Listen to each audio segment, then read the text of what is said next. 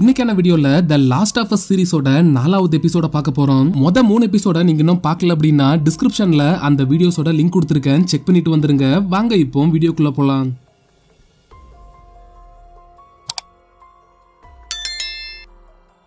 நாலாவது எபிசோடோட ஓப்பனிங்ல போன எபிசோட்ல அந்த எல்லி பொண்ணு ஹீரோக்கு தெரியாம ஒரு கன் எடுத்து வச்சிருப்பாள் அந்த கன்னை கையில எடுத்து வச்சுட்டு இதை எப்படி யூஸ் பண்றதுன்னு சொல்லி கண்ணாடி முன்னாடி நின்னுட்டு அவளுக்கு அவளே பேசிட்டு பிராக்டிஸ் எடுத்துட்டு இருக்கா. கன்ல இருக்க புல்லட்ஸை எப்படி வெளியே எடுக்கிறது? மறுபடியும் அந்த புல்லட்டை எப்படி லோட் பண்றதுன்னு தெரிஞ்சுக்கிட்டு கொஞ்ச நேரத்துக்கு அப்புறம் ஹீரோக்கு தெரியாத மாதிரி கன்னை தூக்கி பேக்ல வச்சுட்டு அவ இருக்கிற இடத்துல இருந்து வெளியே போக வெளியே நிறைய உடஞ்சு போன கார்கள் இருக்கு. அதுல ஒரு கார்ல நம்ம ஹீரோ ஒரு டியூபை வச்சு உறிஞ்சு பெட்ரோல் எடுத்துட்டு இருக்காரு. எல்லிக்கு அந்த பில்டிங்குள்ள ஒரு புக் கிடைச்சிருக்கும் ஹீரோ சின்ன வயசுல இருந்தே நிறைய மொக்க ஜோக்ஸ கேட்டு வளர்ந்துருப்பாருல. அந்த மாதிரி மொக்க ஜோக்ஸ் அந்த புக்ல நிறைய இருக்கு. ஆனா எல்லிக்கு இதெல்லாம் புதுசு தானே அதுல இருக்க ஒவ்வொரு ஜோக்ஸையா ஹீரோ கிட்ட சொல்லி சொல்லி எல்லி சிரிக்க ஆரம்பிக்க ஹீரோக்கு சுத்தமா சிரிப்பே வரல. ஆனா இவ பண்றதெல்லாம் பார்க்கும்போது இவரு பொண்ணு ஞாபகம் வருது. ஒழுங்கா ட்ரக்ல போய் உட்காருன்னு ஹீரோ சொல்ல இந்த புக்கு கிட்ட இருந்து உங்களால தப்பிக்க முடியாதுன்னு சொல்லிட்டு எல்லியும் கிளம்பிடுறான் இப்போ ஹீரோவும் பெட்ரோலை புடிச்சிட்டு ட்ரக்குக்கு போக ரெண்டு பேரும் அந்த இடத்துல இருந்து கிளம்புறாங்க.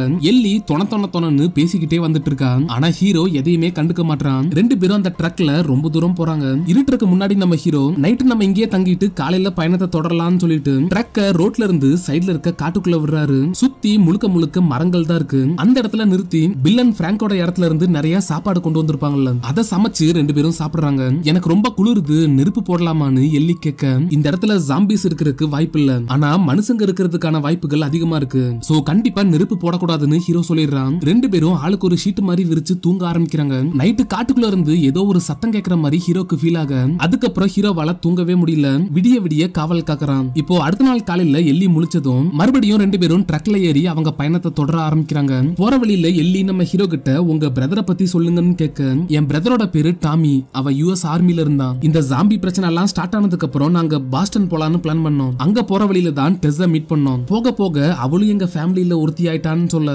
அப்போ நானும் உங்க ஃபேமிலியான்னு எல்லி கேக்குறான் இல்ல என்ன பொறுத்தவரை நீ வெறும் பேக்கேஜ் தான். டெஸ்ஸுக்கு நான் பண்ணி கொடுத்துருக்க ப்ராமிஸ்னால தான் உன்னை என் கூட வச்சிருக்கேன்னு ஹீரோ சொல்ல அதெல்லாம் ஓகே மார்லின் எப்படி உங்களுக்கு தெரியும்னு எல்லி கேக்குறான். என் பிரதர் ஃபயர் ஃபிளைல சேரணும்னு ஆசைப்பட்டான். அப்படிதான் மார்லின் தெரியும்னு ஹீரோ சொல்றான். இந்த மாதிரி ரெண்டு பேரும் பேசிட்டே போயிட்டு இருக்கும்போது ஹீரோ ஒரு இடத்துல காரை நிறுத்திட்டு நீ காருக்குள்ளேயே இருன்னு எல்லி கிட்ட சொல்லிட்டு வண்டியில இருக்க கண்ணை கையில எடுத்துட்டு அங்கிருந்து முன்னாடி போறான். சுத்தி நிறைய கார்கள் இருக்கு. நிறைய கார்களுக்குள்ள ஒரு சில பணங்கள் இருக்கு. அதிலாத்தையும் தாண்டி ஹீரோ முன்னாடி போனான். இவங்க போக வேண்டிய road full and full block ஆயிருக்கு இந்த வழியா இதுக்கு மேல இவங்களால போக முடியாது. சுத்தி தான் போயாகணும். இப்ப ஹீரோ மறுபடியும் காருக்குள்ள வந்ததுக்கு அப்புறம் மேப் எடுத்து அடுத்ததா எந்த ரூட்ல போலான்னு பாத்துட்டு இருக்கான். இந்த பிரிட்ஜுக்கு பக்கத்துல ஒரு சிட்டி இருக்கு. அந்த சிட்டியை தாண்டி சுத்தி வந்தா இவங்க போக வேண்டிய அதே ரோட புடிச்சிடலாம்னு தெரிஞ்சதும் அந்த வழியா போலான்னு சொல்லிட்டு காரை ஸ்டார்ட் பண்ணிட்டு கிளம்புறாங்க. அந்த சிட்டியை ரீச் பண்ணதும் சிட்டியோட பார்டர்ல நிறைய ஜாம்பிஸ் அந்த இடத்துல கொளுத்தி போட்டிருக்க மாதிரி தெரியுது. அந்த இடம் இன்னமும் புகஞ்சிட்டு தான் இருக்கு. சோ இப்ப ரீசெண்டா தான் கொளுத்திருக்காங்க. சிட்டிக்குள்ள போயிட்டு இருக்கும்போது திடீர்னு எல்லி காரை நிறுத்த சொல்ல ஹீரோவும் காரை நிறுத்திட்டு என்னன்னு கேக்குறான். அது குவாரண்டைன் ஜோன் தானே. ராணுவ ராணுவத்தை சேர்ந்த யாரையுமே காணமேன்னு எலி கேக்குறான். ஹீரோக்கும் அதை பார்த்ததும் பயங்கரமான ஷாக்கு இந்த டைம்ல கொஞ்சம் தூரத்துல இருந்து ஒருத்தன் எனக்கு ஹெல்ப் பண்ணுங்கன்னு கேட்டுட்டே நடந்து வந்துட்டு இருக்கான். அவனை பார்த்ததும் ஹீரோ ஏதோ தப்பா இருக்குன்னு புரிஞ்சுக்கிட்டு சீட் பெல்ட்டை போட்டுக்கோன்னு சொல்லிட்டு காரை ஸ்டார்ட் பண்ணிட்டு செம்ம ஸ்பீட்ல அங்கிருந்து கிளம்ப. மாடியில நின்னுட்டு இருந்த ஒருத்தன் பெரிய கல்லொன்ன தூக்கி காரோட கண்ணாடியில போட்டுறான். அதையும் சமாளிச்சுட்டு ஹீரோ அங்கிருந்து போயிட்டு இருக்கும்போது ஆல்ரெடி அந்த இடத்துல டயரை பஞ்சர் ஆக்கறதுக்கு ஸ்பைக் ட்ராப்ப போட்டிருந்திருக்காங்க. அதுல கார் ஏறினதும் நாலு டயரும் பஞ்சர் ஆயிருது. ஹீரோ கண்ட்ரோல் கிடைக்காம காரை பக்கத்துல இருக்க ஒரு கடைக்குள்ள விட்டுறாரு. கிராஷ் ஆனதுக்கு அப்புறம் உனக்கு ஒன்னும் பிரச்சனை இல்லையேன்னு கேட்க எல்லியும் எனக்கு ஒன்னும் பிரச்சனை இல்ல நான் நல்லா தான் இருக்கேன்னு சொல்றான். இந்த டைம்ல இவங்கள நோக்கி பயங்கரமா ஷூட் பண்றாங்க. ரெண்டு பேரும் காரை விட்டு இறங்கி கீழே வந்துடுறாங்க. ரோட்டுக்கு ஆப்போசிட்ல இருந்து ஒரு ரெண்டு பேர் விடாம சுட்டுட்டு இருக்காங்க. ஹீரோ காரோட டோரை ஓபன் பண்ணிட்டு உள்ள இருக்க கண்ணை கையில எடுத்துட்டு எல்லியை எப்படியாவது சேஃபான இடத்துக்கு கொண்டு போகணும்னு சொல்லி சுத்தி சுத்தி பார்த்துட்டு இருக்க. இவங்களுக்கு ஆப்போசிட்ல இருக்க செவுத்துல ஒரு பெரிய ஓட்டை இருக்கு. அதை பார்த்ததும் ஹீரோ எல்லி கிட்ட நான் ஷூட் பண்ண ஆரம்பிக்கும் போது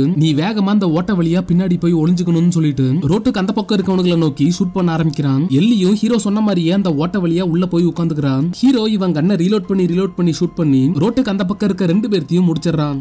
ஒரு வழியா நம்ம தப்பிச்சோம் நம்ம சேஃப் ஆயிட்டோம்னு ஹீரோ நினைக்கிறக்குள்ள திடீர்னு பின்னாடி இருக்க டோரை ஓபன் பண்ணிட்டு ஒருத்தன் உள்ள வந்து ஹீரோவை அட்டாக் பண்றான். ஹீரோவும் அவனும் மாத்தி மாத்தி அடிச்சுக்கிறாங்க. ஒரு மிகப்பெரிய ஃபைட் இவங்க ரெண்டு பேர்த்துக்கும் இடையில நடக்குது. அவன் எதிர்பாராத டைம்ல வந்து அட்டாக் பண்ணனால ஹீரோவால அவனை சமாளிக்க முடியல. அவன் ஹீரோவை கீழே தள்ளி அவன் கையில இருக்க கண்ணை வச்சு ஹீரோவோட கழுத்தை நசுக்கிட்டு இருக்கான். ஹீரோவால ஒரு இன்ச்சு கூட நகர முடியல. இதை பார்த்துட்டு இருந்த எல்லி அவ பேக்ல இருந்து கன் எடுத்துட்டு வெளியே வந்து ஹீரோ மேல உட்காந்துருக்கவனோட கால்லயே சுட்டுறான். குண்டடிப்பட்டதான் அவன் பயங்கரமா அழுக ஆரம்பிக்கிறான். இதுக்கப்புறம் நான் பிரச்சனை பண்ண மாட்டேன் என்ன விட்டுருங்கன்னு கெஞ்ச ஆரம்பிக்கிறான். ஹீரோ அந்த இடத்துல இருந்து எந்திரிச்சிட்டு எல்லிய பார்த்து முறைச்சிட்டு அவ கையில இருக்க கண்ணை புடுங்கிக்க.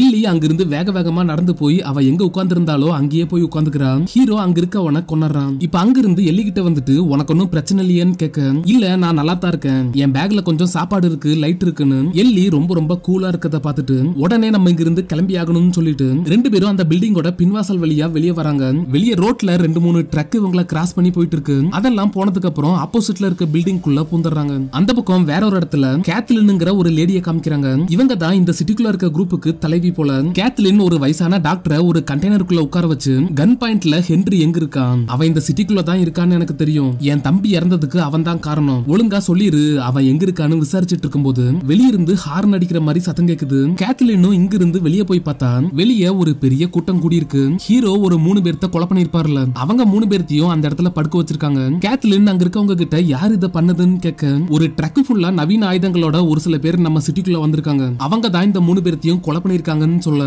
அவன் ஹென்ரியோட ஆளா இருக்கலாம். ஹென்றி ரேடியோ மூலமா யாரையாவது இங்க வர வச்சிருக்கலாம். சிட்டிக்குள்ள இருக்க மொத்த வீட்லயும் தேடுங்க. வந்திருக்கவங்க எத்தனை பேரா இருந்தாலும் சரி ஒருத்தன் கூட உயிரோட இருக்க கூடாதுன்னு கேத்லின் சொல்ல அங்க இருக்க மொத்த பேரும் ஆள் ஆளுக்கு பெரிய பெரிய வண்டி வண்டியில ஏறி அங்கிருந்து கிளம்ப ஆரம்பிக்கிறாங்க. சிட்டிக்குள்ள இருக்க ஒவ்வொரு வீட்டுக்குள்ளேயா உடச்சு உள்ள போய் தேட ஆரம்பிக்கிறாங்க. கேத்லின் நேரா அங்கிருந்து உள்ள போயிட்டு உள்ள ஒரு வயசான தாத்தா கூட பேசிட்டு இருந்திருப்பாள்ல அந்த தாத்தாவை சுட்டு கொலை பண்ணிடுறான் இந்த பக்கம் நம்ம ஹீரோ ஒரு கடைக்குள்ள உட்காந்து வெளியே போயிட்டு இருக்க வண்டிகள் எல்லாம் பார்த்துட்டு இங்க இருக்கிறது நமக்கு சேஃப் இல்ல. ஒரு நாலு தெரு தள்ளி ஹைட்டான ஒரு பில்டிங் இருக்கு. அடுத்ததா அங்கதான் நம்ம போய் ஆகணும். கொஞ்ச நேரம் ரெஸ்ட் எடுத்துட்டு கிளம்பலாம்னு சொல்றான். எல்லியும் அந்த இடத்துலயே உட்காந்துறான் கொஞ்ச நேரத்துக்கு அப்புறம் ஹீரோ எல்லி கிட்ட என்ன மன்னிச்சிரு. உங்ககிட்ட கன் இருக்குங்கிறத நான் முன்னாடியே கவனிச்சு புடுங்கி இருக்கணும் நீ ரொம்ப ரொம்ப சின்ன பொண்ணு. ஒன்னால ஒரு உயிர் போயிருக்குன்னு நினைக்கும் போது நீ எந்த அளவுக்கு ஃபீல் பண்ணுவன்னு எனக்கு புரியுதுன்னு சொல்ல எல்லி கொஞ்ச நேரம் அந்த இடத்துல அழுதுட்டு கண்ணை தொடச்சிட்டு இது ஒண்ணும் எனக்கு ஃபர்ஸ்ட் டைம் இல்லைன்னு சொல்றான். இதை கேட்டதும் ஹீரோக்கு பயங்கரமா ஷாக் ஆயிருது. எலிக்கிட்ட இருந்து புடுங்கின கண்ணை அவகிட்டயே போய் கொடுத்துட்டு கண்ணை இந்த மாதிரி பிடிக்கணும் இந்த மாதிரி ஷூட் பண்ணணும்னு அதை எப்படி யூஸ் பண்ணணுங்கிற மொத்தத்தையும் சொல்லி கொடுக்குறான். எல்லி ரொம்ப ரொம்ப ஹாப்பி ஆயிடுறான். ஹீரோக்கு போக போக எல்லிய கொஞ்சம் கொஞ்சமா பிடிக்க ஆரம்பிக்குது. அந்த இடத்துல இருந்து இவங்க கிளம்பும் போது பயப்படாத எல்லாம் சரியாயிரும்னு எல்லி கிட்ட சொல்ல. எனக்கு தெரியும் நான் பயப்படலன்னு எல்லி சொல்றான். இந்த பக்கம் கேத்லின் ஹீரோவோட ட்ரக் இருக்க இடத்துக்கு வந்து அந்த இடத்த சுத்தி பார்த்துட்டு இருக்கும்போது கேத்லினோட பாடி கார்டு ஒருத்தன் என் கூட கொஞ்சம் வாங்கன்னு கூப்பிடுறான். இவளும் அவன் பின்னாடியே ஒரு பில்டிங் குள்ள போனான். ஹென்ரிங்கிற ஒருத்தனை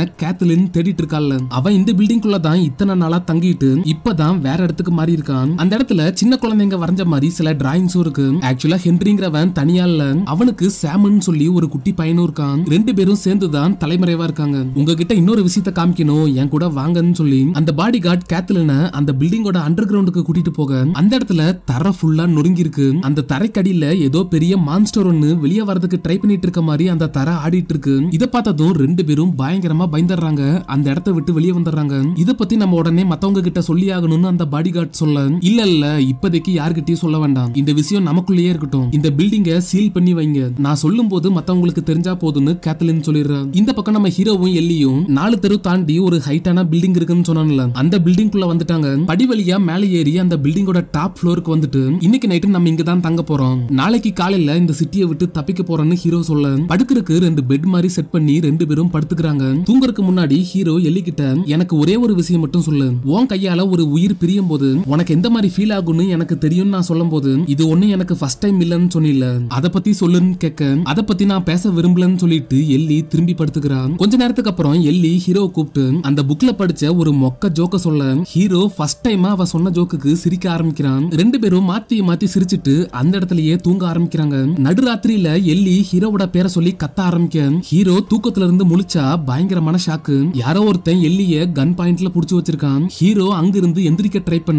ஒரு குட்டி பையன் ஹீரோவை நோக்கி கன்னை வச்சுட்டு நின்னுட்டு இருக்கான். கேத்லின் ஹென்ரிங்கிற ஒருத்தனை துரத்திட்டு இருக்கான்ல அந்த ஹென்றி தான் எல்லிய கன் பாயிண்ட்ல வச்சிருக்கான். இந்த குட்டி பையன் ஹென்ரியோட பையன் சாம். சாம் அமைதியாருன்னு சொல்லி ஹீரோக்கு கை காமிக்க இந்த இடத்துல கட் பண்ணி இந்த எபிசோட முடிக்கிறாங்க. இந்த வீடியோவை கடைசி வரை பாத்திருந்தீங்கன்னா மறக்காம உங்க லைக்க பிளேஸ் பண்ணிருங்க. அஞ்சாவது எபிசோடு வெள்ளிக்கிழமை ரிலீஸ் ஆக போகுது. சோ வெள்ளிக்கிழமை அந்த எபிசோட பார்க்கலாம். இன்னொரு வீடியோல பார்க்கலாம். Until that signing off from உங்கள் ஹாலிவுட் தமிழா